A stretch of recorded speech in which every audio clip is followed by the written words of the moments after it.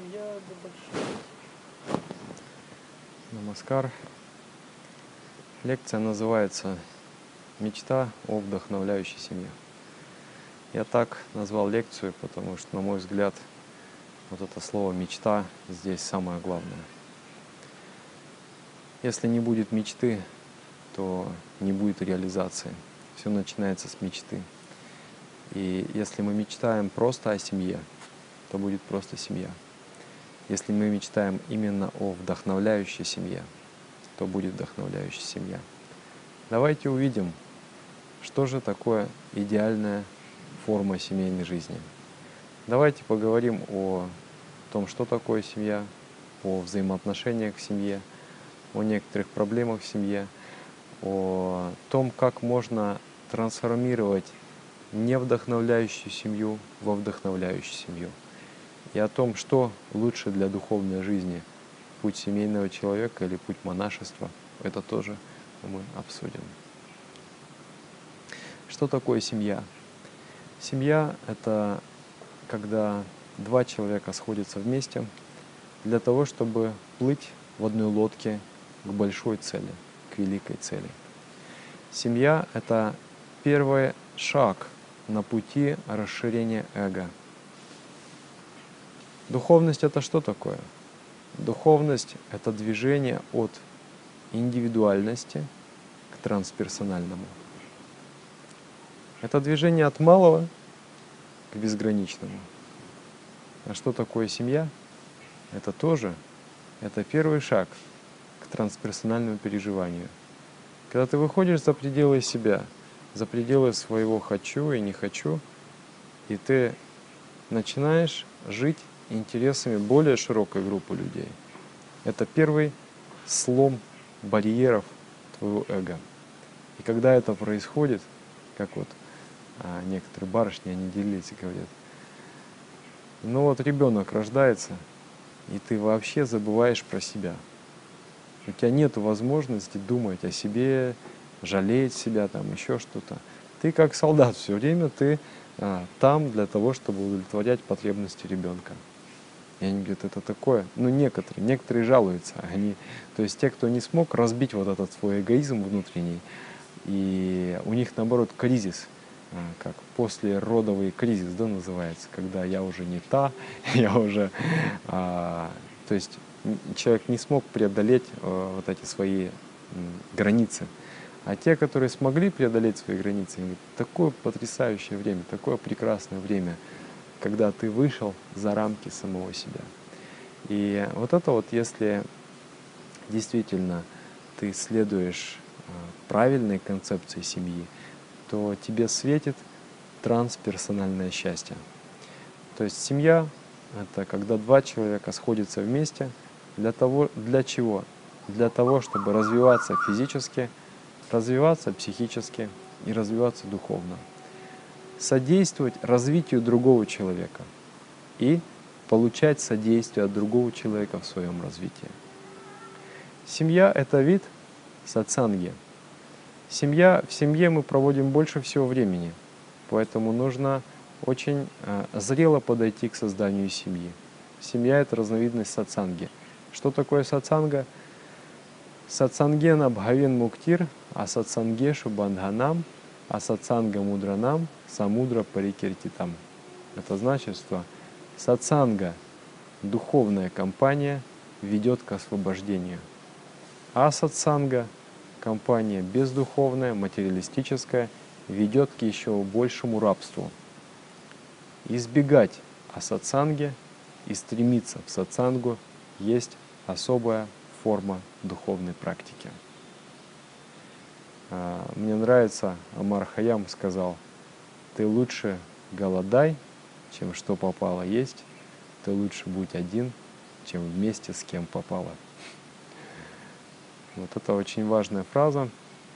Духовный искатель вступает в любые взаимоотношения, если эти взаимоотношения помогут его партнеру по взаимоотношениям стать лучше, либо эти взаимоотношения помогут ему ему самому стать лучше. Если а, наоборот во взаимоотношениях духовный искатель тонет и он теряет вот этот огонек, он теряет вот эту мечту, он, он теряет вдохновение. Он становится биологическим, он сходит на уровень а, физиологии, биологии, социологии, психологии, но он уходит с уровня вот этой вот а, духовного озарения, то в данном случае семья будет рассматриваться как некоторое препятствие на духовном пути. И из-за отсутствия правильного понимания, что такое семья, многие духовные традиции рассматривают семью как соблазн или как помеху в духовной жизни. Кто-то это делает напрямую, говорит, что нет, не надо жениться, нужно идти в монахи. Кто-то это делает косвенно, говоря, что монашеская жизнь, она более возвышена, чем семейная жизнь. Если ты говоришь, что монашеская жизнь – это вот, а, как сказать, звезда первой величины, а семейная жизнь – это, ну, если как бы не получилось, да, селенок не хватило вот на, на, на первый приз, ну, хотя бы тогда бронзовая медаль. Ладно, тоже нормально сойдет.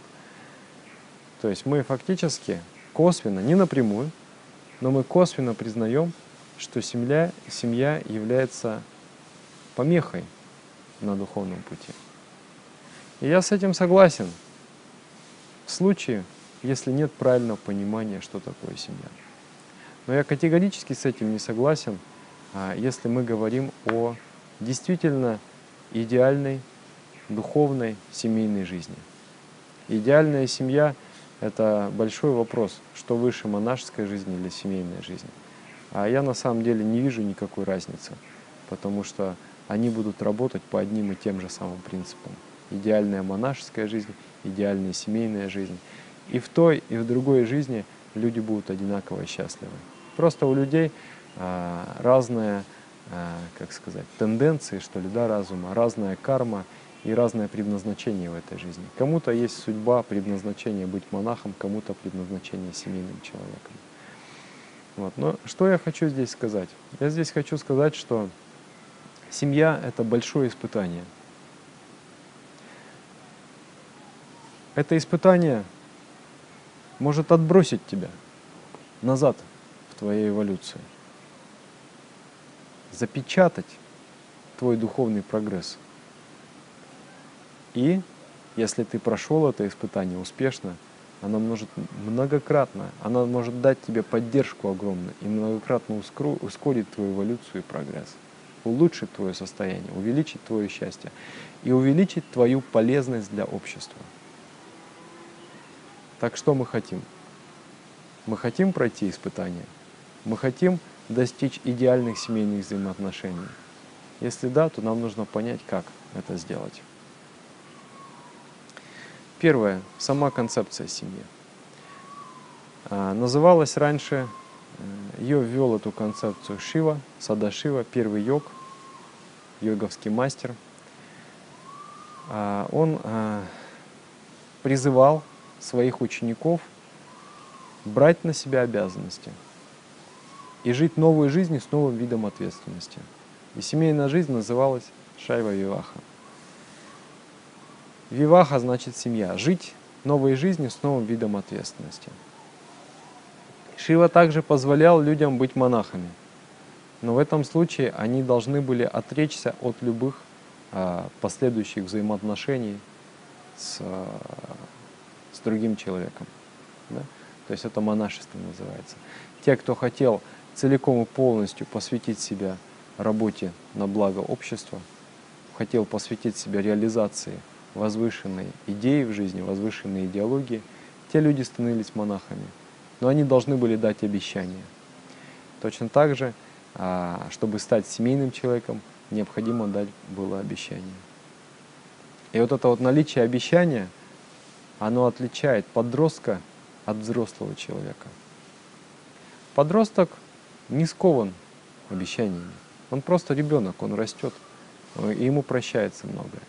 Но взрослый человек – это тот, кто вступил в отношения и принял на себя ответственность. Вместе с ответственностью приходит зрелость и вместе с ответственностью приходит уважение. Каковы были обещания для семейного человека? Каковы они есть сейчас? В нашей системе точно так же сейчас вот, э, ну, э, будучи ачарей, я выполняю функции ЗАГСа, да? То есть люди приходят и говорят, да-да, пожени. И я говорю, а ты понимаешь, что такое семья? Семья это то-то, то-то, то-то. Развод недопустим, тебе нужно быть такие, такие-то обязанности. Да, понимаю. И тогда я начинаю петь мантры, и я произношу обещания, и молодожены произносят эти обещания вслед за мной. Три обещания есть. На физическом уровне, на психическом уровне и на духовном уровне. На физическом уровне обещания отличаются. У мужчины одни обещания, и, соответственно, у мужчины одни обязанности, и у женщины другие, другое обещание и другие обязанности. А на психическом и духовном уровне обещания одинаковые, потому что в психической сфере и в духовной сфере у нас одинаковые потребности.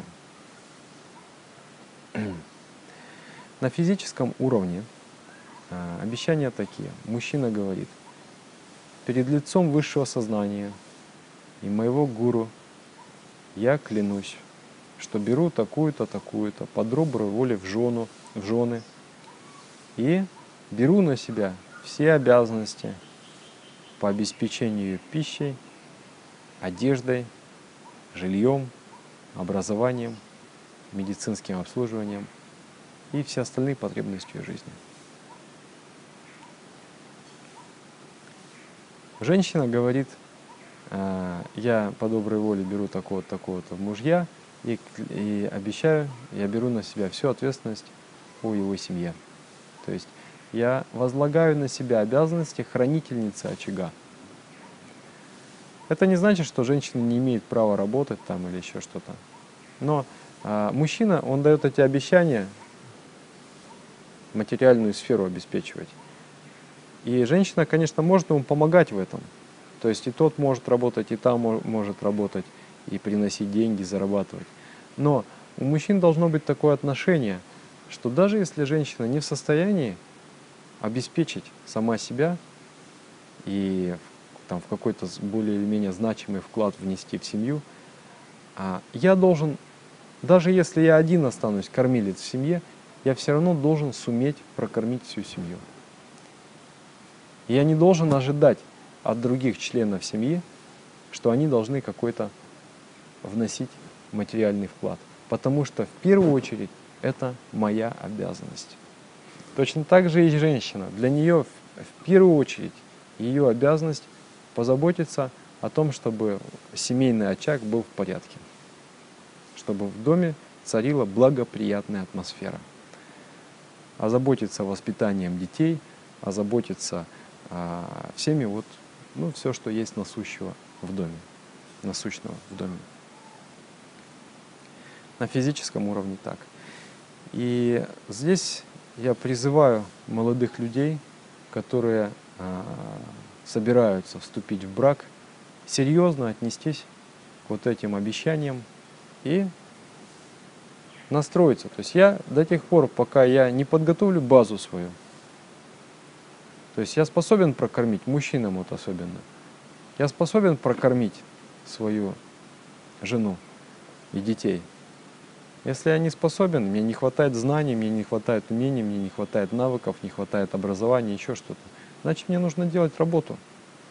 Как однажды мой друг сказал, один мой наставник, он говорит, он по-английски сказал, deserve, do not desire. И мне так впечатлило. То есть заслужи, не желай.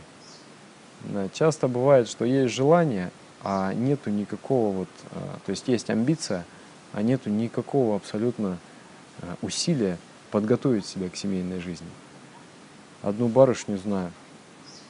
Ну вот, еду приготовит, и ты ешь, и ты думаешь, вообще, как я сострадаю мужчине, который возьмет ее жены. И много раз было сделано замечание. Много раз было сделано замечание. Но при этом а, уроки не извлекаются, при этом человек не слушает, и она считает, что она все правильно делает.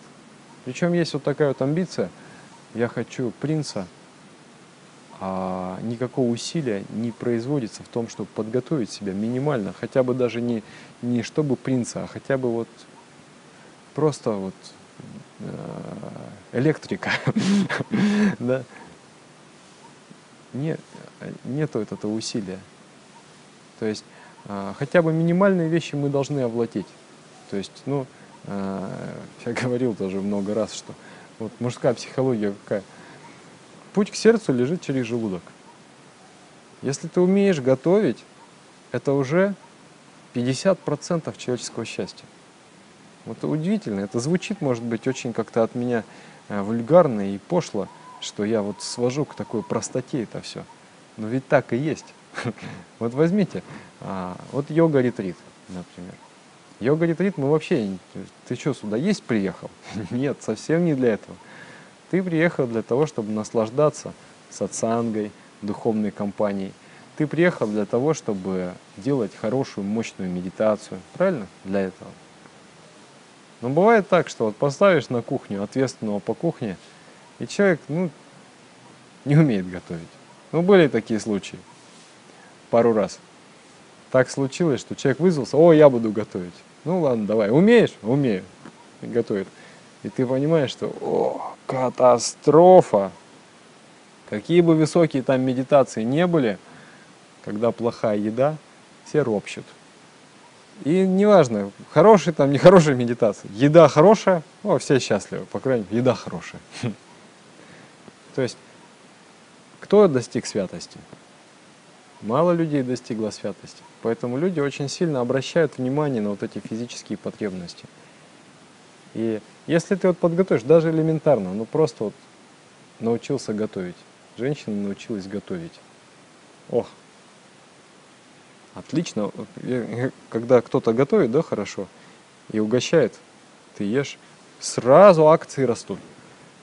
То есть ты понимаешь, ну, молодец. Вот, молодец. Да, то есть ты проникаешься уважением.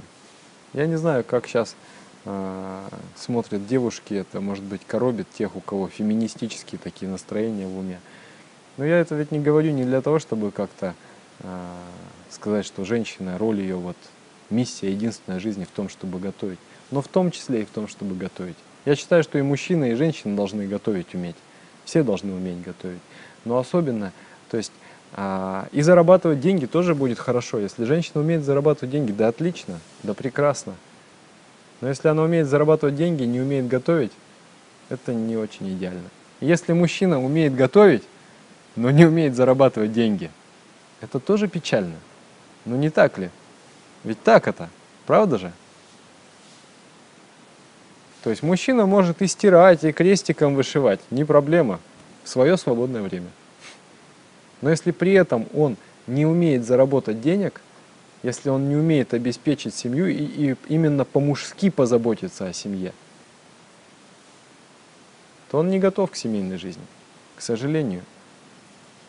Хоть сколь, хоть ты можешь прямо вот иконы вышивать крестиком. Настолько ты можешь быть умелым. Но если ты не умеешь позаботиться о семье, а, обеспечить ее, ты все равно не готов к семейной жизни. И женщина тоже – вот, поэтому поддержка благоприятной атмосферы в семье, а, чтобы было чисто, чтобы было красиво, чтобы было вкусно, сытно, тепло, уютно, эмоционально комфортно. Это работа женщины. Ей нужно тренировать именно себя, то есть осознанно делать усилия в этом направлении. Просто возьми и освой 20 рецептов. Хотя бы вот так – а своих идеально, чтобы все люди, когда ты их угощаешь, они говорили, вау, это, о, это что, это кто приготовил? Это разве сложно? Это не сложно. Не надо ожидать принца. Do not desire, deserve, deserve, do not desire. Да, вот это вот важное понимание. И мужчины тоже. Научись зарабатывать деньги, научись поддерживать свою семью, научись именно мужские обязанности выполнять. Тогда ты с легким сердцем скажешь эти обещания. И члены общества, которые будут свидетельствовать эту свадьбу, они будут аплодировать. Молодец. Так ведь, правильно? И еще один момент. Часто люди боятся, да, что я не смогу, у меня не получится. Когда ты вот о чем ты думаешь, тем ты становишься. Думай позитивно. У меня получится. Сто процентов получится. И коль скоро я женюсь, Бог благословит меня. Я смогу выполнить свои обязанности. Вот эти клятвы, я рекомендую повторять их каждое утро. То есть, когда мы женились, да, вот монашеские клятвы, например, я дал свои монашеские клятвы. Я каждое утро просыпаюсь, и первое, что я повторяю, что я вспоминаю после пробуждения, это свои обещания. Свои обещания, как садхаки, когда я инициацию получил, я дал какие-то обещания. И когда я стал монахом, я тоже дал обещания. И вот когда вы стали семейными людьми, тоже вспоминайте эти обещания. Вы дали эти обещания перед Богом, перед высшим сознанием и перед своим гуру. Эти обещания очень важные. В них состоит ваша дхарма. Дхарма значит жизненное предназначение, духовный долг. То есть, если ты сидишь, делаешь медитацию, но не заботишься о своей семье, ты не делаешь медитацию. Ты не идешь по духовному пути, потому что свой духовный долг перед своей семьей ты не выполняешь. Потому что свой духовный долг ты не выполняешь. Вот это осознание очень важно. То есть духовность – это не какие-то полеты туда, в космос, в астрал. Духовность – это что-то все поглощающее, обширное. И мыть посуду – это духовность. Зарабатывать деньги для своей семьи – это духовность. Это очень-очень важный элемент духовности. Теперь второй э, вид обещания, он одинаковый для мужчины и для женщины. Это человек говорит перед лицом высшего сознания и перед лицом своего гуру я клянусь, что беру такое-то или такого-то жены, мужья, и я сделаю все возможное для его, обещаю сделать все возможное, все, что в моих силах, для его, для ее психического развития. Что такое психическое развитие? Психическое развитие – это развитие интеллекта, развитие эрудиции, культурное развитие, эмоциональное развитие, то есть приобретение контроля над эмоциями, нравственное развитие. Это все входит в психическое развитие. То есть супруги должны постараться обеспечить условия своему мужу, своему жене для его расширения разума, для его роста. А это значит обеспечить условия для образования – обеспечить условия для э, расширения ума, как, например, путешествия, культурные мероприятия. И очень важно вот здесь вот этот момент, обеспечить условия для садханы, для духовной практики. Потому что без духовной практики психическое развитие, оно очень поверхностное. Развивается только э, первые два слоя разума – а третий, четвертый, пятый слои разума, самые глубинные слои разума, они не развиваются. Вот. А когда есть стагнация, отсутствие прогресса, то душа немедленно откликается неудовлетворенностью на это. Поэтому и мужская обязанность. То есть он должен думать, дорогая, мало того, что он должен подумать, а что моя жена поела, он еще должен думать, а что моя жена почитала, что моя жена посмотрела. Сделал ли я все возможное для того, чтобы она становилась лучше как личность? Точно так же ей нужно думать. И третье, это я обещаю, что я сделаю все возможное для его или ее духовного роста, духовного развития. Но ну, в первую очередь это садхана, а потом коллективные мероприятия, коллективная медитация, ретриты и так далее. Это пища для нашей духовности пение, мантры, совместные духовные практики. Э, очень важно, когда в семье два человека медитируют вместе, они всегда будут жить душа в душу. Вы садитесь, медитируете вместе, и создается вот санга чадвам, что называется, создается коллективный разум, Как вот мы поем же, да, перед коллективной медитацией. Санга чаданг, санга даданг, сидяна там. Давайте двигаться вместе. Давайте петь вместе. Пусть наши умы, мысли а, движутся в унисон. Давайте объединим наши усилия, объединим наши сердца. Наши сердца будут неразделимы. И так по-настоящему давайте делиться сокровищами этой Вселенной, чтобы все могли наслаждаться ею. И так, а, превращаясь в один разум, мы по-настоящему начинаем любить и понимать друг друга и познаем Всевышнего. То есть цель семейной жизни из двух сделать одно. То есть был муж и жена, стали одно, семья. И вот когда люди медитируют вместе, они действительно становятся одно. Я даже вот чувствую, когда я живу с каким-то человеком, например, мы путешествуем вместе, с каким-то другом или с каким-то другим учителем медитации. У нас от того, что мы постоянно в одном пространстве, там, в одной комнате или там, в разных комнатах, но мы постоянно вместе медитируем, возникает такое глубинное взаимопонимание. То есть ты просто вот знаешь, э, ну, капитально знаешь другого человека. Медитация помогает этому пониманию очень сильно. Когда э, два человека в разных направлениях движутся, раз, два, два разных направления это разрыв обычно. То есть мы идем на разрыв во взаимоотношениях.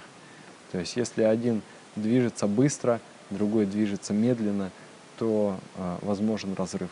Вот если оба делают усилия развиваться, то э, они будут вместе.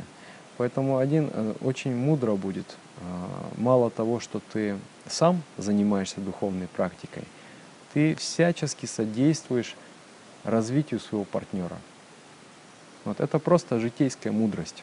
То есть мало того, что это благородное предназначение да, для твоего как вот, служения делать, но и также это житейская мудрость. То есть тебе нужно все усилия делать, потому что, ну а как, неинтересно даже будет, когда ты вот развился, а второй человек не развился. Поэтому нужно вместе идти, нужно двигать человека. Если человек не хочет, он прям упирается там на, в духовной сфере. Бывает, даже духовные искатели, инициированные, эго упирается таким образом, что не буду, не хочу, вот там, я медитирую свои 15 минут и отстань от меня, да, например. Тогда надо искать другие способы, как э, содействовать именно вот этому э, культурному расширению, интеллектуальному расширению, для того, чтобы прогресс шел. Если прогресс идет, все равно вы вместе достигаете. И э, иметь какие-то совместные семейные цели, которых вы вместе реализовываете, вы движетесь вместе в одном направлении. Вот санга чидвам очень важно.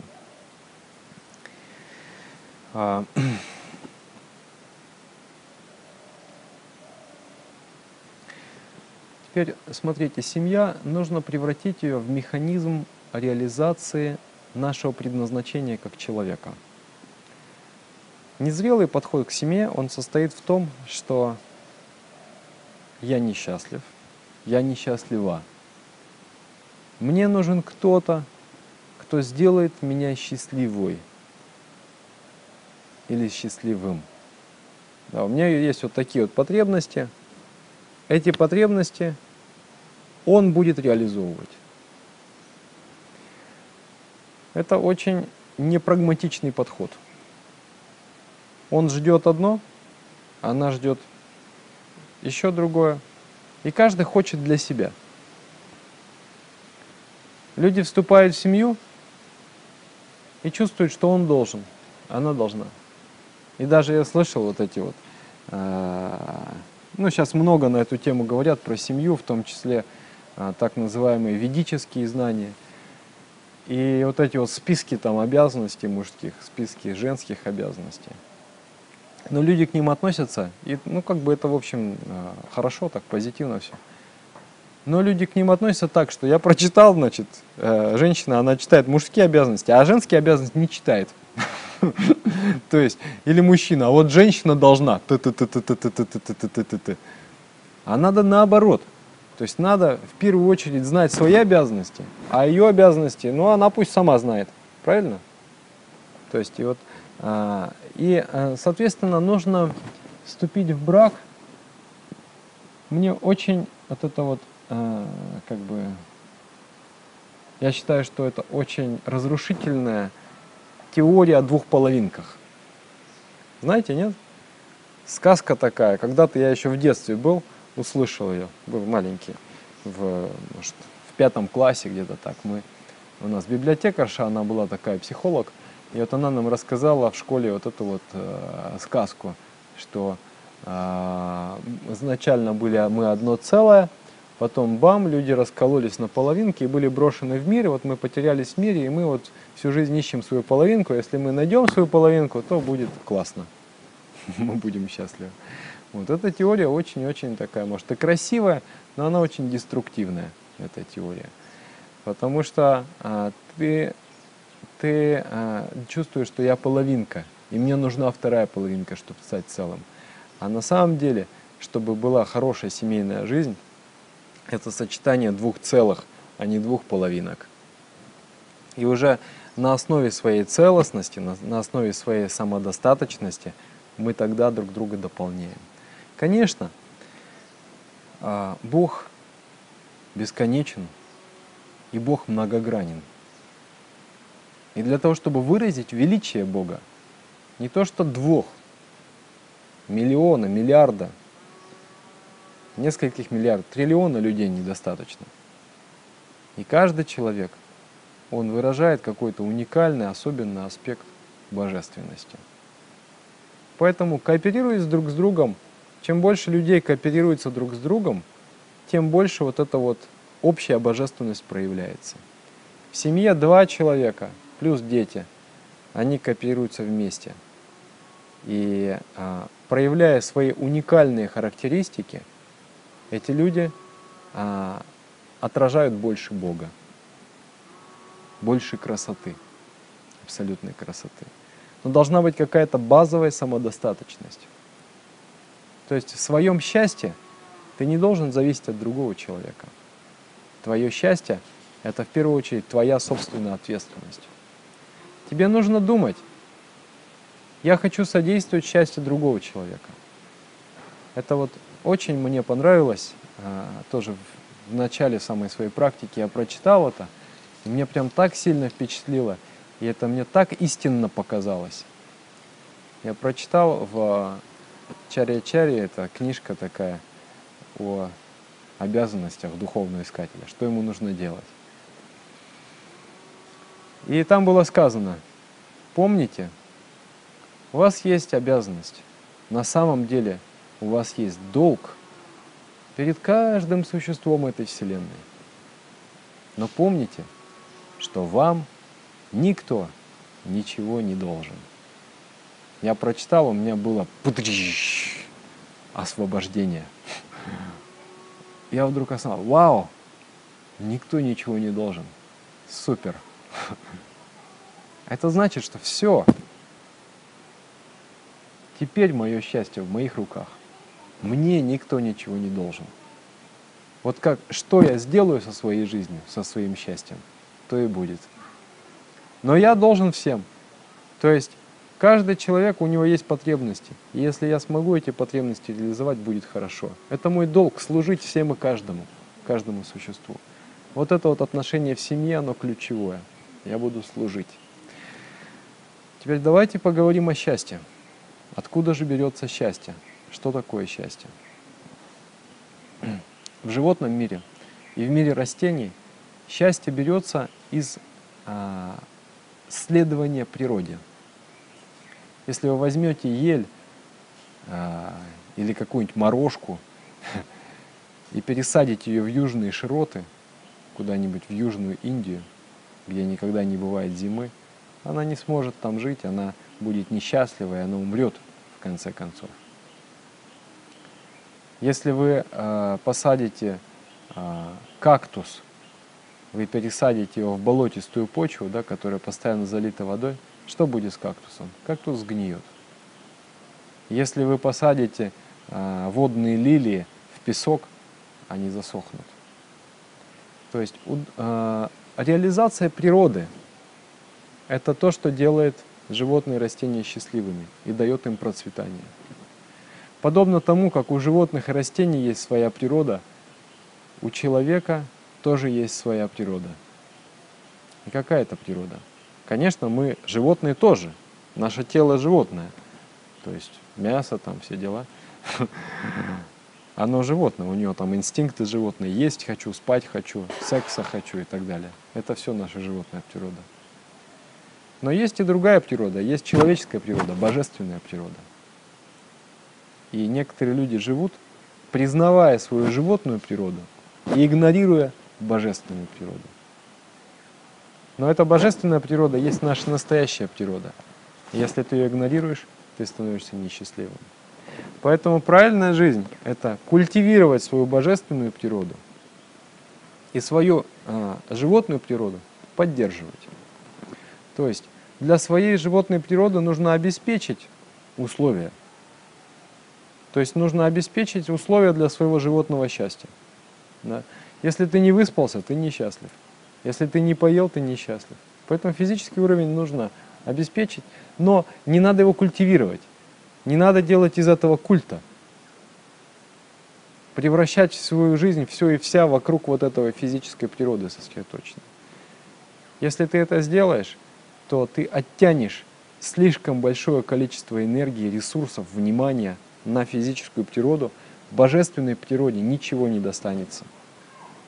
И когда божественная природа останется без внимания, тот, кем ты на самом деле являешься, будет несчастлив. Ты будешь чувствовать неудовлетворенность своей жизнью. Так вот, семья это новый формат. То есть своей индивидуальной первый шаг. Первый шаг. В своей индивидуальной жизни тебе нужно научиться быть счастливым. А для этого тебе нужно практиковать духовную садхану. Правильно? Понимаете? Мы об этом уже много до этого говорили. Тебе необходимо работать над расширением своего ума, тебе необходимо работать над утончением, улучшением своего тела и так далее. Это первый шаг. И самый базовый. Не научившись это сделать, как ты сделаешь более продвинутый шаг? Следующий шаг – это научиться жить в новом формате, в формате семьи. Превратить вот эту семью и отношения в семье в способ реализации твоей божественной природы. Следующий шаг – это новый формат. Я внутри общества, целиком, внутри человечества – научиться реализовывать свою божественную природу в рамках вот этого общества. Какова наша божественная природа?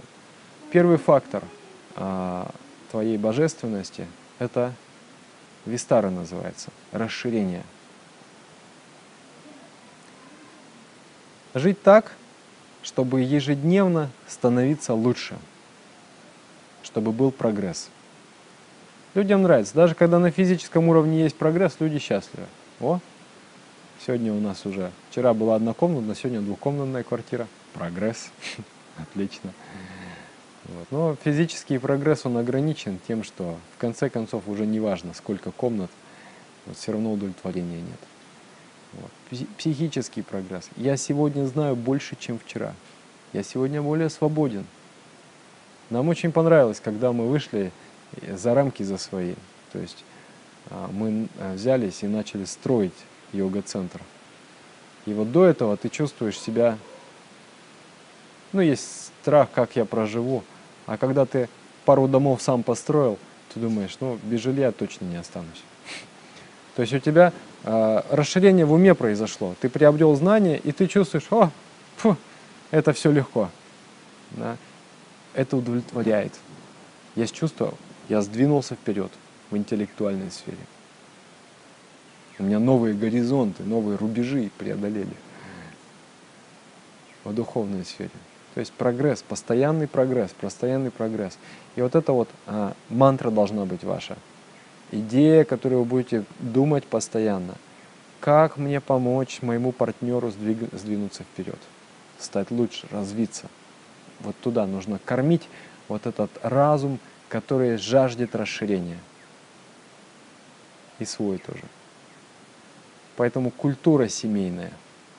Что мы делаем в семье? Мы принимаем какие-то вызовы. Мне очень понравилось. А, одна барышня вышла замуж недавно, и она пишет, говорит, вот мы с мужем решили делать марафон да, духовных практик. Два человека друг друга поддерживают. То есть они решили делать там каушики, йоговский танец 21 минуту в день. И они решили месяц подряд делать. И они поддерживают. Один спит, второй его за ногу. Давай, вставай, будем делать. Это шикарно. Это очень здорово. И есть ощущение динамизма в семье, ощущение движения. Второй фактор – это фактор любви. Любовь – это сонастройка двух ритмов. Что значит любовь? Это когда ты душа в душу да, с другим человеком. То есть на каком-то глубинном уровне вы совпадаете. Такое ощущение, что вы одно целое. От чего это происходит? От того, что ритм твоего ума совпадает с ритмом ума другого человека. Обычные люди, обычные в смысле те, которые не э, сознательно не занимаются расширением своего разума и прогрессом своим эволюционным. Я надеюсь, вскоре обычными людьми станут все духовные люди. И те, которые не занимаются собой, они будут считаться необычными, странными людьми. Что это они? В чем дело? Почему они так живут? Ну вот, то есть те люди, которые не занимаются, они способны э, попасть.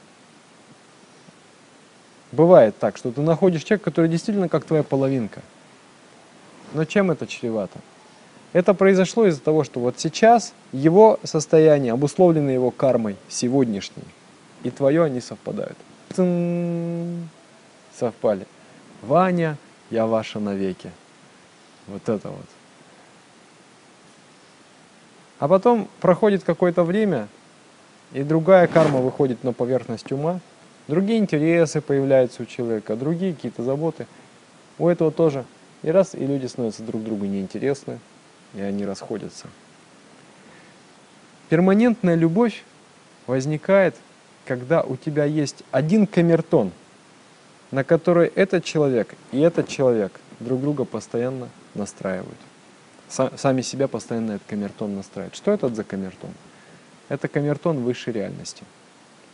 Поэтому, когда пара медитирует вместе, то есть они сидят, медитируют и познают божественное в себе и начинают замечать божественное друг в друге, это значит, что будет любовь. Вы, может быть, сейчас думаете, что если, допустим, один человек развивается, другой человек не развивается, то это препятствует любви. С одной стороны, да, но с другой стороны, если посмотреть глубже, то нет. Потому что если ты медитируешь, и ты смог рассмотреть божественное внутри себя, познать, понять характеристики этого божественного, то ты сможешь увидеть это божественное в другом человеке тоже. От качества нашей медитации зависит наша человечность. Именно видеть внутри человека его божественный потенциал и верить в другого человека. Очень-очень важно верить в другого человека. И вот когда степень духовной зрелости такова, что ты способен увидеть божественный потенциал другого человека, вот тогда любовь не прекращается. То есть обычно на уровне незрелости ты вот видишь, ага, вот он меня сейчас устраивает нормально, а вот не устраивает. Все, расходимся. На, на степени зрелости ты уже начинаешь видеть божественное в другом человеке и начинаешь верить человека безграничное. То есть какое бы состояние сейчас не было у него, может быть он сейчас совершенно безобразно себя ведет, неправильно ведет, и казалось бы, все остальные скажут, да что ты с ним возишься? А ты говоришь, нет а я верю. А я верю в человека и все. То есть я, а верю, это же не просто верю, вот какая-то вот, знаете, верю там в Деда Мороза. Вот верю и все, и вот хоть кол мне на голове тиши. Нет, эта вера другая. Эта вера основывается на интуиции. То есть эта вера основывается именно на а, прозрении мудрости. Ты веришь в человека, ты видишь, а, опять мечта, понимаете, мечта. Мечта о вдохновляющей семье. Мечта о муже. Вот какого мужа ты хочешь, вот такого и видь. Или жену. Понятно, что мы не слепцы, то есть мы видим все достоинства и недостатки, правильно? И чем дальше ты медитируешь, тем легче тебе считывать эмоции другого человека. Ты смотришь на человека, и весь его вот, все его ты видишь. То есть что он чувствует, как он встревожен, не встревожен, на нервах он, не на нервах, все ты это видишь, воспринимаешь. У тебя появляется ясность видения. Но есть еще и другая вещь. Ты видишь вперед, насквозь, сквозь. Даже сам человек в себя не верит, но ты в него веришь. Это, э, это возникает в результате твоего духовного прозрения. Когда ты прозрел, узрел внутри себя вот эту духовную суть, ты сможешь это сделать также в другим. Это очень важная вещь также в отношении с детьми. Как вот наш гуру. Я вам расскажу историю, она немножко выходит из контекста, но неважно. Один мой друг, он монах, и он говорит, однажды мой мастер, он позвал меня к себе в комнату. Я, говорит, очень рад был зайти. Учеников много было, и поэтому это было что-то очень-очень особенное, остаться наедине с гуру, хотя бы пять минут. Особое благословение. И это всегда особая, очень романтическая, очень медовая, сладкая атмосфера. И вот гуру позвал его к себе – он говорит, иди, иди, иди сюда, ближе, подойди. Он взял его руки вот так и положил к себе на стопы. И он сказал, клянись. Говорит, да, да, говорит, у меня сердце вот так вот задрожало, я слушаю. И гуру говорит, клянись, я обещаю быть идеально строгим в практике 16 пунктов. Помните, я вам курс рассказывал, называется приобретение душевной силы. Вот 16 пунктов – это вот этот курс весь. На самом деле, я не видел еще людей, которые идеально строгие были бы в этом. Потому что если ты идеально строг, ничего не отделяет тебя от святости. Ты уже святой. Он говорит, я сказал это, а сам думаю, что же я сказал? Я гуру пообещал на его стопах я пообещал, что я буду идеально строгим. И говорит, я после этого забыл и вытеснил это в свое бессознательное. Туда, глубже, глубже, глубже, чтобы никогда не найти это обещание. Прошло 20 лет. Гуру покинул тело свое физическое. Многое чего поменялось, много в жизни поменялось. И вот, говорит, я вспоминаю, у меня возникает этот флешбэк в голове. Я помню всю эту картину – Гуру э, зовет меня в комнату, кладет мои руки на его стопы и просит, обещай, я буду идеально строгим в практике 16 пунктов. И говорит, я подумал, я подумал, какую же невыразимо прекрасную жизнь мне дал мой гуру. Из зерна вот этой вот инициации, из зерна духовного посвящения выросло невероятно прекрасное духовное приключение – сколько всего я получил по милости гуру. И всю мою жизнь гуру мне только давал, давал, давал, давал, давал. И ничего не просил взамен. Единственную вещь, которую он меня попросил, это чтобы я был идеально строгим в практике 16 пунктов. Неужели я не могу одну эту вещь выполнить? И говорит, у меня созрела решимость. Я сделаю это. И говорит, я тогда подумал – Гуру – мудрый человек. Он обладает знанием. Некоторые считают, что гуру обладает все знанием. Он знает все. Он прекрасно знал, что я не могу выполнить его обещание. Но также он знал, что однажды я смогу. Вот так и в семейной жизни, вообще во всех отношениях. Ты знаешь, что человек не может сейчас. Он не способен. Ограничение его, оковы его, его тамос, его лень, его тяжесть вот эта внутренняя, его негатив внутренний, который есть у каждого человека. Он давлеет над ним, не позволяет ему вот так вот. Но ты знаешь, ты веришь, что однажды обязательно он сможет. И ты видишь вот то, вот то. Ты смотришь на то. И постоянно ты общаешься с ним вот с тем, а, обращаясь к тому, взывая к тому, пробуждая то. Это значит, это называется видеть божественность в другом человеке. Это выполнять свои обязанности на духовном уровне. Теперь давайте поговорим об отношениях в семье.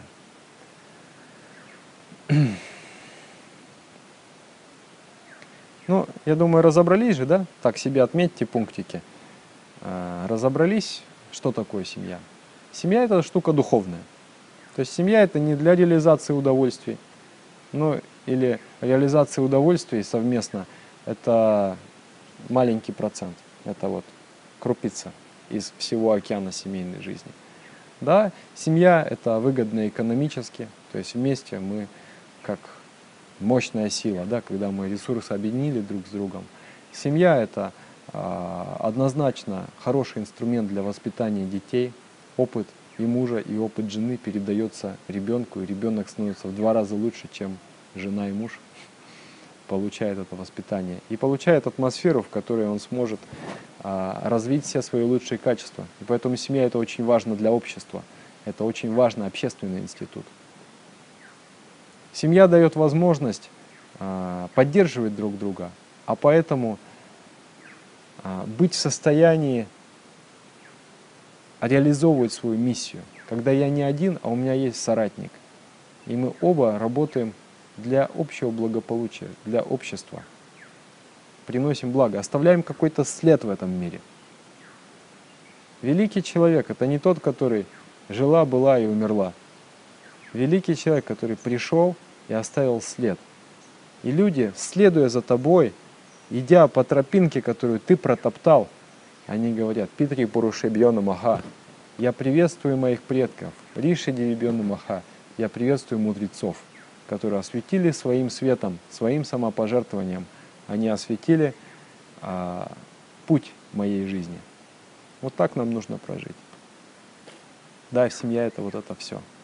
Но самое главное, семья – это а, а, твоя духовность, это инструмент, это машина для твоего непрерывного расширения и для твоего духовной реализации. Я видел такие семьи, они очень вдохновляют. А, один дада, а, семейный дада. Да, есть у нас два вида учителей медитации есть семейные, есть монахи. И вот он семейный. И как-то к нему пришли, и он к старости он достиг святости. Святости значит, то есть он достиг состояния единства с Богом. То есть он утром, вечером он погружался в состояние самадхи. Самадхи значит, когда индивидуальный разум растворяется в космическом сознании, становишься единым с ним. И что впечатлило? Прозвучал стук, тыщ. Он говорит, поторопитесь на кухню. Моя жена только что упала в самадхи, только что ушла в транс единения с Богом. Выключите газ и удостоверьтесь, что она не сожгет себе руки. Вот такая семья. Прекрасные дети, прекрасные внуки а, и гармония на всех уровнях. Отличный дом, чистота везде, красота и вот это вот а, духовность высшего стандарта. Это должно быть нашей мечтой. Мечтой не должно быть, как мы там будем эмоциональные потребности друг другу реализовывать. Иной раз а, аж это неприятно смотрится, как «Ой, вот мы везде вместе, ой, мы вот там...» И оба, но вместе-то вы вместе двигаетесь к высшей цели. Зачем вы вместе друг друга, вместе одна что-то там за, как сказать, за, за сопротивлялась да, духовности. И он тоже чуть вроде более осознанный в этом смысле. Но он тоже, ой, ой, ой мы, мы вместе, вместе. Куда вы вместе двигаетесь? Вместе катитесь вот туда, что ли? А, это неправильно. То есть это а, не, не та идея. Это не идея, то есть вот эмоционально вместе, вот какой-то вот, знаете, как со щеночком наиграться, а потом смотришь, бац, через три года развелись. Вот эти вот вместе-вместе, которые были. Потому что нету, из невежества строится. Нужно строить на правильном понимании. Только э, если человек дхармичен, то есть он реализует свое предназначение, он счастлив и он стабилен. В другом во всем стабильности нет, только псевдостабильность. Делая компромиссы какие-то и лишь бы лишь бы угодить там на, на эмоциональном уровне, м-м, не работает. В конце концов разрушение происходит. Ты можешь выиграть время, ты можешь не оперировать. То есть появилась какая-то болезнь, появилась проблема, и ты идешь на компромисс с этой проблемой. Окей, ты выиграешь время, но через какое-то время эта проблема тебя съест. И в том числе будут разрушены отношения. Ладно, давайте поговорим про семейные отношения, потом поговорим о том, как заводить семью. Вот. Ну, давайте поговорим о взаимоотношениях в семье. Сейчас очень много об этом говорят. То есть, видимо, у людей проблема стоит. То есть в семейной жизни гармонии нет, взаимопонимания нет. Это породило очень много семинаров, тренингов, всякого личностного роста, тренингов семейной жизни, а, породило так называемые женские тренинги, целая просто, вот, я не знаю, грядка выросла этих женских тренингов. Я однажды Думаю, ну-ка посмотри, что там за женские тренинги-то. Думаю, может, что-то отдельное они учат. И такие предписания, мол, а, надо, это все, женственность надо тренировать. Потом, я богиня, я богиня. Я богиня, я рабыня, я стерва, там всякие разные тренинги есть на этот счет. Так чему они учат-то, эти тренинги? То есть вот если бы эти тренинги учили духовности, они бы работали. Но эти тренинги учат совсем другому. Тренинг «Я богиня». Нужно а, а, а, ощущать себя женщиной. Нужно осознавать свою женственность. Что нужно делать? Нужно болтать с подружечками. Нужно, нужно делать подарочки нужно а, принимать ванну с лепестками роз. Нужно умасливать себя благовонными маслами. Идея к чему сводится? Что если ты себя ублажишь, ты будешь довольна, и мужу мозг ты не будешь выносить. Муж будет доволен, муж будет, ты будешь красивая, значит, там вся благоухающая, он будет за тобой ухаживать, и он тебе будет снова покупать шубы, там, масла и так далее, и так далее. Ну как вы думаете, насколько это все работает? Это работает до поры до времени. Да, поначалу, пока ты, а, если у тебя есть ощущение несчастья, то это, это как огонь, и ты в этот огонь можешь заливать его маслом или бензином, ты можешь тушить этот огонь. Несчастье – это недостаток полноты, недостаток ощущения вот этой бесконечности. Теперь материальное удовольствие, если туда закидывать, то сначала тушится, вроде есть ощущение. Так знаете, пойди поклонись рыбке. Не хочу быть столбовою дворянкой, хочу быть владычицей морской. Вот это вот из той области. Совсем сдурела моя бабка, говорит, поклонись рыбке. И осталась бабка у разбитого корыта. Вот это вот... Э, мы же знаем всю эту сказку с детства. Почему мы не мотаем на ус? Это что же самое. Из э, тренинг стервозности. Как быть стервой? Как можно манипулировать своим мужем? Ну, отношения же строятся на доверии, отношения строятся на честности. Использовать свои женские хитрости – свою магическую силу женскую. Я вот сейчас одену длинную юбку, и у меня появится огромное количество манны, и этой манной я смогу повлиять на своего мужа. И он вдруг мне бросится тут э, дарить дары, там зарабатывать, станет отличным семенином. Бросьте вы эту чушь. Это полностью не соответствует действительности, не соответствует реальности совсем на другом отношении строится. Отношения на прям противоположном строятся. Давайте разберем вот этот духовный корень благополучия. Анализируя отношения в семьях, а, я вижу, что причины всегда одни и те же. Люди нарушают яму и не яму, нравственные принципы. Первое, ахимса. Нарушение ахимсы означает, что ты позволяешь себе испытывать враждебность по направлению к твоему партнеру. Эта враждебность может быть высказанная, может быть невысказанная. Кто-то даже, ну это совсем нужно уже прям животную природу свою проявить, а кто-то даже может там физическую силу по отношению к своему партнеру использовать и причинять вред таким образом. Вот эта вот внутренняя враждебность, которая выражается или не выражается, она очень-очень портит отношения. Поэтому работа над своим принципом ахимсы, не причинять вреда другому. И у этого много-много аспектов есть. Но главная эта идея здесь, чтобы никогда, никогда, никогда в жизни не испытывать зла по отношению к другому, к своему мужу, к своей жене. То есть всегда верить в него, всегда, даже если внешне ты какую-то роль там играешь и брови хмуришь и строишься, но внутри у тебя всегда есть вот эта любовь и благополучие. Ты прощаешь. Да, если человек и по отношению к тебе агрессию проявил, ты все равно прощаешь, ты все равно работаешь над тем, чтобы отпустить и всегда любить. Никогда не, а, не позволять себе вот эту агрессию испытывать. Ахимса. Сатья. Сатья означает благожелательная правдивость. Вот здесь нужна правдивость. Отказаться от манипуляций. И иметь идеальную честность, чтобы между нами не стояло никакой лжи. Да? Если оба человека честные, то они оба настроены на божественное. Тоже важный элемент. Когда один врет, все, это уже а, начинает уничтожать отношения. А оба врут, так это вообще. Оба друг другу не доверяют, оба друг друга не уважают. Врать значит что? Не уважать. Ахимса сати, астея.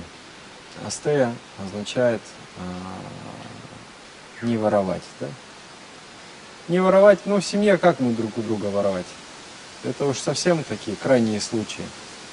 Вот. Но здесь означает не завидовать, не э, позволять другому получить свое должное, да, то есть если один человек, э, э, вот это его заслуга, это его внимание, ну пусть он получит за это, как сказать, эта заслуга будет отдана ему. Не все как бы на себя грести, да, одеяло. Вот, а не, не тянуть одеяло на себя. И тот, и другое получают то, что им причитается.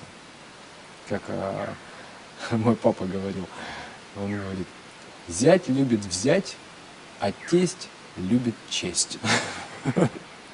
Вот зять приходит и что-нибудь берет, ему тесть там помогает, да? А тесть любит честь. То есть вот не воруй у тестя честь, зятю дай взять, тестю дай честь, и все будет отлично. Да, то есть мы не тянем одеяло на себя, то есть каждый должен, а, его потребности должны быть удовлетворены. Вот. Ну и астея означает, что жить честной жизнью, если ты а, зарабатываешь на содержании своей семьи нечестные деньги, то это тоже, эта проблема будет в семье. В конце концов, это может выразиться в твоих детях, особенно то есть э, поведение какое-то коррупционное, неправильное, в конце концов оно может э, испортить жизнь твоим детям, да, то есть э, отразиться такие, так, карма твоя тяжелая, выразится в негативно подействует на твое потомство. Ахимсати асте, брамачари. Вот здесь вот я уже начал об этом говорить, и это вот, наверное, самый-самый важный принцип – это то, что видеть Бога в своей женщине, видеть Бога в своем мужчине. Не низводить своего мужчину до уровня биологического партнера. Это не мужик, это не, не, не, не любовник, это не еще что-то в таком роде. Это Бог. И, соответственно, уважение к Нему. Вот часто как? То есть до тех пор, пока люди дружат, у них романтические взаимоотношения, даже вот в астрологии есть такое э, понятие, как вот отношение по Венере и отношение по Луне. Луна символизирует твою жену символизирует мать тоже. И, а Венера символизирует твою э, ну, любовницу, она символизирует вот, романтические отношения, такие конфетно-цветочный период. И бывает так, что вот в гороскопе э, Венера, она аспектирована благоприятно, а Луна аспектирована неблагоприятно. То есть, и вот до тех пор, пока вот эти вот конфетно-цветочный период, вообще все идеально. Потом, когда переходят в отношения, переламываются, они переходят вот в эту Луну, то начинаются проблемы.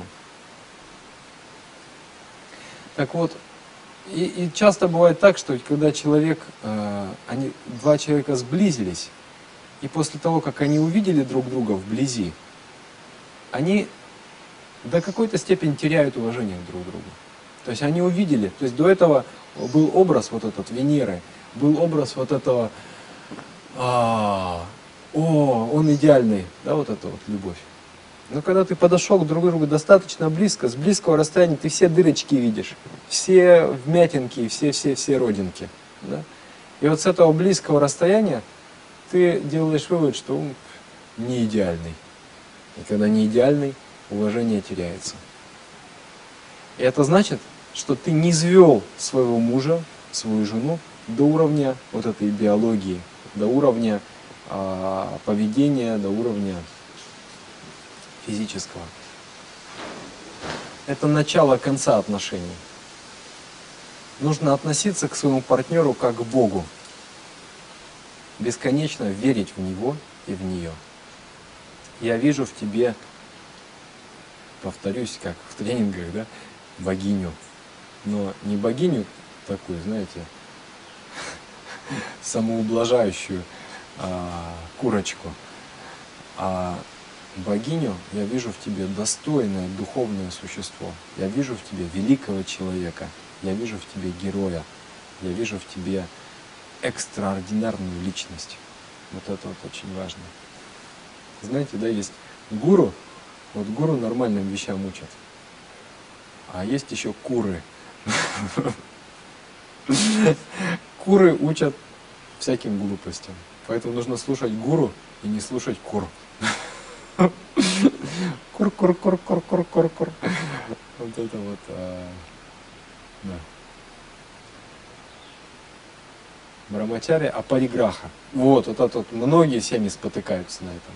Апариграха значит аскетизм, означает а, довольствоваться минимумом. Мужчина обещает, когда он вступает в брак, что он будет обеспечивать пищей, одеждой, жильем и так далее. И женщина говорит, ну давай, давай, давай, давай. Он говорит, так я ждал уже все. Она говорит, не-не-не, больше давай. Вот здесь она не права. Потому что нужно обеспечить то, что действительно нужно. Но если желание не контролировать свои и желание направлять вот в эту физическую область, конца и края не будет. И здесь э, мужчина должен немножко выступать такой структурирующей силой. И он должен говорить, эй, стой, вот это вот не нужно, это лишнее. Давай. Хотя многие наоборот советуют, что нужно там покупать своим женщинам, все ублажать их там без конца, вот это вот это. Это если мы имеем дело с материалисткой, и мы выращиваем материалистку. Нет, нужно, понятно, нужно оценить потребности женщины. Если она без этого никак прожить не может, ну, по твоему мнению, ты бы, конечно, мог прожить, да? То есть, по твоему мнению, вот, минимум потребностей, ну какой у тебя минимум? Да вообще нет у тебя никакого минимума. Рот закрыл и пошел, вот твои потребности все. У тебя ни сумки, ничего нету. И ты думаешь, что у нее такой же. Нет, у нее другие. Тебе нужно оценить, что действительно ей нужно для того, чтобы быть счастливой. Но не поощрять эту тенденцию к вот а, раздуванию и раздуванию материальных потребностей. Одна моя знакомая, она говорит, Ой, да-да, я такая материалистка стала. Говорит, раньше помню, вот у меня был один шампунь, одно мыло. Я такая счастливая была. Я, говорит, занималась вот делами действительно вдохновляющими. А сейчас, говорит, я такая меркантильная, у меня вся ванна заставлена баночками, там, тем, всем, пятым, десятым. все равно я недовольна. Вот это вот нельзя поощрять. То есть необходимо все время направлять, то есть все время тратить внимание, тратить энергию, ресурсы на развитие психической и духовной сферы. Если там стагнация будет на психической и духовной сфере, то есть застой, то в материальной сфере всю жажду человек направит в материальную сферу. Хочу шубку, хочу машину, хочу то, пятое, десятое. Вот так вот, разрастись там. И муж только превращается, что почему ты мне это не покупаешь, почему мне ты мне то не покупаешь. Он в это превращается. Вот это не надо поощрять. Поэтому апариграха, оба человека, оба и муж, и жена должны следовать апариграхе. Должны э, делать сознательные усилия над собой, обходиться минимумом физических потребностей. И направлять оставшуюся энергию, оставшиеся ресурсы именно в психическую, в духовную сферу. Вот сейчас это может быть не всем женщинам это приятно слышать, или мужчинам это приятно слышать, но это факт. Это просто практичность жизни. Можете попробовать, если хотите. Попробуйте. Попробуйте материализм. Заканчивается все это одинаково, неудовлетворенностью. Попробуйте духовность, а заканчивается это тоже одинаково. Это заканчивается счастьем. Вначале трудно, потом больше и больше ты свободнее и свободнее себя чувствуешь, лучше и лучше себя чувствуешь. И вообще идеально, удовлетворенно, отлично, прекрасно. И каждый день а, у тебя уже нет потребностей, но жизнь-то тебя все равно осыпает благами. Это вот как раз, когда ты преодолел да, свою зависимость от потребностей, и ты уже не конючишь и не плачешь, и, и не жалуешься на жизнь, что она тебе мало дает. Ты говоришь, о, жизнь, ты так мне много дала, а жизнь мне в планах еще вот столько тебе дать. И она продолжает осыпать, но ты воспринимаешь это не как, что, ой, опять мало, а ты воспринимаешь это как дар, ты воспринимаешь это как чудо и радуешься. То есть сто процентов вот этот духовный подход, он ведет к счастью. Поэтому аполиграха. Многие пары не выдерживают экзамен на аполиграхе. Они считают, что они живут бедно. Зачастую как раз в женской природе срабатывает какой-то вот такой она же хранительница очага, ей нужно обеспечить, ну, позаботиться о том, чтобы в семье было достатки да, всего. То есть, и женщина это очень сильно заботит. И, но эта забота, если она чрезмерна, она говорит, что ой, ты мало денег зарабатываешь, начинается пилежка. Если мужчину пилить, это и есть пилить, то есть перепиливать его позвоночник. Он становится немощным мужчина, если его пилят. Если не верят в него, а именно пилят. Это очень плохо. Поэтому экзамен на полиграфе нужно сдать. Нужно понять, что главное не это.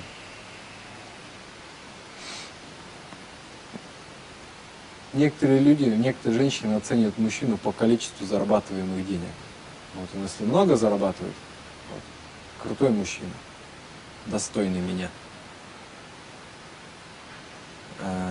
А, здесь мне все время приходит анекдот на ум, что едет президент со своей супругой и супруга, э, и а, смотрит из окна и встречается взглядами в машине там с другим дядькой. А он говорит, а помнишь, ты вот с ним э, дружила, когда мы в начальных классах учились? Она говорит, да, помню. Он говорит, представляешь, вот сейчас бы, если бы ты с ним осталась, то сейчас бы ты была женой какого-нибудь там незначительного человека. Она говорит, нет, дорогой, просто у нас был бы другой президент сейчас. Вот это вот истинная правда. Если верить в человека, то он как раз обретает а, форму согласно твоему видению, твоей мечте, согласно вот этой твоей вере. Поэтому экзамен на полиграфии очень важно пройти и сдать. И нужно быть готовым, что а, жизнь будет а, подвергать нас испытанию материальной нуждой. Ничего страшного, нормально. Просто в этой материальной нужде, когда ты находишься, это период, это обязательно закончится. То есть это не будет долго. Тем более, если ты позитивный человек без дурных привычек, конечно, это закончится. Сто процентов это закончится. И обязательно ты будешь процветать. Но в этот период ты должен сдать экзамен о полиграфе. То есть ты должен научиться быть счастливым самым-самым минимальным. И в физической сфере, поэтому тебе фактически нужно перестать быть зависимым от физической сферы вообще и получать счастье психическое, эмоциональное в духовных сферах. Шаоча – чистота. В семейных отношениях должна превалировать чистота. О чем будем говорить, какие книги читать, что смотреть. Культура чистоты, культура святости, культура вот э, очень высокий стандарт общения и взаимоотношений. Не грязное что-то, не такое вот. Никогда не позволять себе э, бранных каких-то слов, не позволять себе неуважительного слова да, по отношению к другому. Всегда на уровне чистоты. Это вот мой такой а, беленький пушистый комочек, который нельзя никакой а, скверной осквернить. Это вот мое, моя божественность. Ни в коем случае я его не загрязню. Да, я ни в какой грязи в семью не занесу. Шавоча, Сантоша. Тоже многие люди не сдают экзамен Сантоши. Из-за того, что не сдают экзамен на полиграфе. Сантоша значит удовлетворенность тем, что ты получаешь без просьб. Просыпаться и благодарить жизнь за то, что она тебе дала. Вот мой муж. Этот мой муж, он от Бога. Мне Бог его дал. Я так благодарна. Вот моя жена. Мне Бог ее дал. Это сам, сам Бог пришел ко мне в форме этой жены испытывать ежедневную благодарность, находить позитивные качества в другом человеке и постоянно благодарить Бога за это. Это называется сантоша. Тапах. Тапах значит жертвенность. Один парень меня впечатлил тем, что он говорит, у меня а, подруга, говорит, у ней почечная там, недостаточность. Ну, в общем, возможно, надо будет ей пересадку почек. И он говорит, ты знаешь, да, да, я вот так подумал, что я готов. Он говорит, я готов одну почку ей отдать. И меня прям сразу акции его выросли. Я думаю, да, этот человек проявляет вот, зрелость да, в, в своем подходе. То есть семья же это что? Это быть готовым расстаться со всем ради другого человека. То есть это высшая ценность. Я готов пожертвовать чем угодно – ну, понятно, что духовные вещи мы не имеем в виду, но все вот материальное, все, все что, ну, обычные, да, ценности. Я ради а, благополучия этой семьи я готов пожертвовать. Я готов на любые жертвы. Тапах. А, жертвенность также означает, что семья сама по себе. То есть эти принципы должны практиковаться двумя людьми по отдельности – и они должны семьей в целом практиковаться. То есть семья по отношению к обществу, она тоже должна выполнять эти принципы. Ямы не ямы. Ахимса. Семья не должна причинять вреда обществу. Сатия. Семья должна быть правдивой с обществом. Астея. Семья не должна воровать у общества. Брамачария. Семья должна видеть божественность в обществе. А париграха. Семья должна довольствоваться а, самыми минимальными а, потребностями да, в материальной сфере. Шаоча, Сантоша, Тапах. Семья должна уметь жертвовать что-то для общества, жертвовать чем-то для общества, для более своей обширной семьи. Свадья означает, вот это тоже очень важный принцип в семье. Свадья постоянно изучает духовную философию. Что в жизни человеку еще надо, кроме как правильное направление?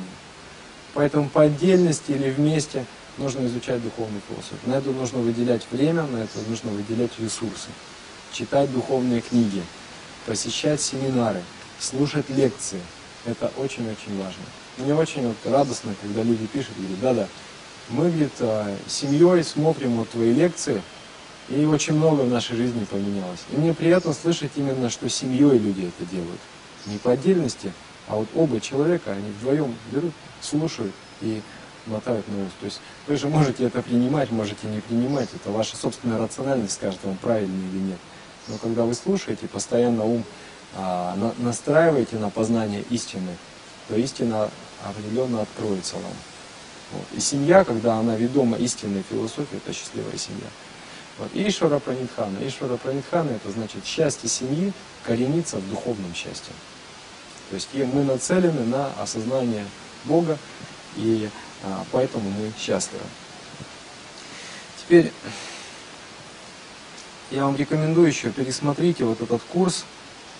Там подробно рассказывается про принципы ямы ньямы, джамы ньямы, другое произношение. Так говорится, а, принципы гармоничного поведения. И а, снова их осмыслите, осмыслите их в контексте семейных отношений. Это будет очень важно для улучшения семейных отношений. Я верю, что любые семейные отношения можно улучшить при помощи своего собственного личного следования этим принципам. Всегда проблема исходит с двух сторон. Поэтому э, ты не можешь контролировать другого человека, но ты можешь контролировать себя. Если ты проконтролируешь себя, 50% проблемы уже уйдет. Вот, и под твоим влиянием другой человек тоже изменится. Поэтому это вот очень-очень мощный э, такой фактор да, для обретения семейного счастья. Ой, я же, я же забыл рассказать. То есть я начал говорить про дхарму, да, про, про счастье э, в семейной жизни. Я только один э, рассказал принцип. Это первый, два принципа. Первый это принцип э, расширения, то есть то, что нужно прогресса достигать. Второй это принцип любви. Третий это принцип служения. Вот это вот очень важно. Очень важно. Вот семья то же самое, работает по тем же законам, что и человек. Как человек, его идеология жизни, что делает его счастливым, какая? Помните? Атма Мокшартам Джагат Хитайча. То есть освобождение своего духа и служение всему сущему. Так и семья. Семья это человек. То есть семья это вот два человека, которые стали одним человеком. И вот эта семья должна принять духовную идеологию, если она хочет быть счастливой. А духовная идеология это что? Освобождение духа и служение всему сущему. Также и общество. Освобождение духа, служение всему сущему. Понимаете, да? Вот эта вот логика ясна? Как семья, принцип служения очень важен. Если цель семьи просто вот кор-кор-кор-кор-кор-кор-кор-кор, ну насколько этого хватит, этого кур-кур-кур? Пришли, там, помиловались с работы, э, денег принес муж, там, купили шифонер, хрусталь поставили в шифонер. Кур-кур-кур-кур-кур-кур. Детей на, на, наплодили. Ну, насколько этого хватит? Ну, я не знаю. Ну, может, кому-то и хватает. Но когда у тебя а, ты достиг определенного уровня развития, ты понимаешь, ну, это вообще мелко плаваешь, что называется. Что-то другое нужно. И другое – это вот как раз служение. То есть, когда семья нацелена миссией своей жизни, семья объявляет служение обществу. Делать что-то действительно конкретное, действительно значимое для того, чтобы сделать жизнь в этом мире лучше.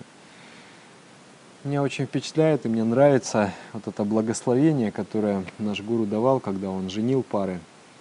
Он говорил так. Будьте как Шива и Парвати. Шива и Парвати – это вот первая семья на этой планете. И что Шива и Парвати? Шива и Парвати, какая их была цель в жизни? Его цель была Вишвам Тантрикам Курванту. А, вдохновить всю Вселенную на культ духовного развития. И оба неустанно работали для реализации этой миссии, чтобы научить человечество движется, двигаться от тьмы к свету, от грубости к тонкости. Вот будьте как Шива и Парвати означает, что на физическом уровне реализуйте свою достойную жизнь. И а, теперь это немного, это вот несколько лет усилий, и а, вы уже эту цель выполнили. И остаток своих усилий, остаток своей энергии направьте действительно на то, чтобы приносить благо обществу. Вот это вот важно. Служение. И финальная а, характеристика человеческого счастья – тацтхити, утверждение высшей реальности. Вот, дхарма. И вот семья, если стала инструментом для этих четырех, расширения, То есть прогресс на всех уровнях, любовь, совпадение, да, мы на один и тот же камертон настраиваемся. И поэтому мы друг с другом совпадаем по вибрациям. Мы медитируем вместе. У нас одна и та же волна, мы любим друг друга. А, любовь, принцип любви. Дальше принцип служения. Как семья мы делаем благоприятные вещи для общества. И тацтхити. Мы, как семья, познали Бога. Мы утвердились в Боге. Вот. Теперь, когда мы э, женимся, да, то есть когда, когда человек создает семью, что нужно делать? Нужно учесть несколько практичных моментов. Первый момент нужно желательно жениться на а, брать в жены женщину, которая разделяет твои убеждения, чтобы не было потом лишних трений.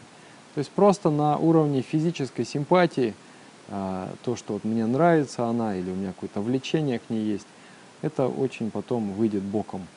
То есть нужно присматриваться к женщине, которая а, следует уже духовной практике, следует духовной идеологии. Либо она открыта для этого, то есть она готова а, практиковать, готова все это делать.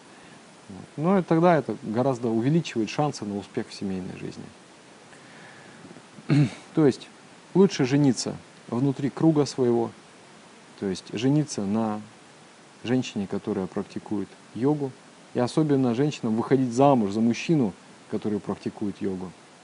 Ну, это вот успех определенный, потому что он, во-первых, без дурных привычек, это уже, уже, уже, уже отсекает. Да? То есть если человек, у него, даже он сейчас а, нет у него дурных привычек, да, так сказать, но у него есть какие-то, иной раз он употребляет алкоголь, и там что-то такое у него есть. Это может потом развиться в очень пагубную тенденцию. Поэтому лучше находить мужчину, а, лучше находить мужчину, который а, сто процентов гарантированно, что у него эти привычки, они не появятся в будущем. А это нужно находить йога. Вот, находить нужного человека. Если, а, ну, так случилось, что вот действительно случился резонанс, нашелся человек, она не является йогиней, он не является йогом, но тогда нужно стараться, когда, если ты женишься или берешь э, в мужья, то нужно, чтобы человек как можно скорее принял инициацию, как можно скорее принял посвящение и начал практиковать. И когда он начал практиковать, ты уже видно по нему, куда его тенденция поведет. Или у него материалистическое устройство ума, и вряд ли он продолжит, то есть, может быть, он начал ради тебя практиковать, сейчас чтобы показать, знаете, все хороходятся, когда вступают в отношения, они там прям все идеальные. Потом и все, вылазит как бы натура человека. Так вот, нужно определить эту натуру и понять, совместимы мы по этой натуре или нет. Если человек проявляет искренний интерес к духовной практике, ну это вот шанс на успех в твоих отношениях. Обговорить на берегу несколько вопросов. Да, то есть а, первое это то, что ну, вот вопрос религии. Да, если человек, допустим, бывает тоже, я видел успешные пары, например, два человека из разных традиций сошлись. Но у них есть духовное понимание, и они оба уважают то, чем другой человек занимается. А бывает наоборот. Например, вот человек одной религии другой. И тот говорит, ой, ты вот это все плохо делаешь, ты там в ад идешь и так далее. Ты, меня прям возмущает. Я думаю, как ты можешь так говорить своему мужу? Что ты вообще себе позволяешь? Что в тебе такого, что ты можешь вот так вот диктовать другому человеку? Да? То есть, если этого уважения нету изначально, нужно договориться, обсудить. И с самого начала согласиться, что нет, мы, если мы уж решили так вот, мы с разных традиций, вот такой революционный у нас союз случается, то мы будем друг друга поддерживать и уважать в этом. Мы не будем там, э, как сказать, унижать да, э, то, что другому ценно. Вот. Но лучше, конечно, в одной традиции всегда.